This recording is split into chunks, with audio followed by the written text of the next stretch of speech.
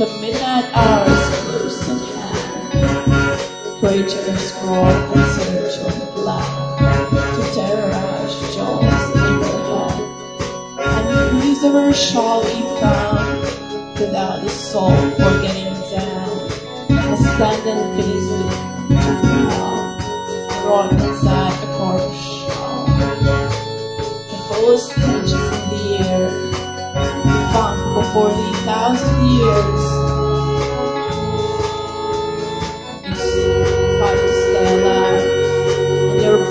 start to shiver. For no more mortal can resist the evil of the thriller.